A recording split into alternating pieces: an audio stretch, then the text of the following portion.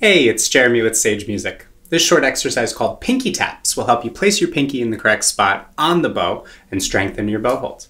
If your pinky isn't strong enough, you're going to have some trouble controlling the bow near the frog and develop the unfortunate bad habit of playing only in the upper half of the bow. So here's how we do the pinky taps. So first we're going to grab our bow, set up our bow holds, and point the bow towards the ceiling. Then you're going to tap your pinky in the same exact spot repeatedly. Try to keep it curved throughout the entire exercise.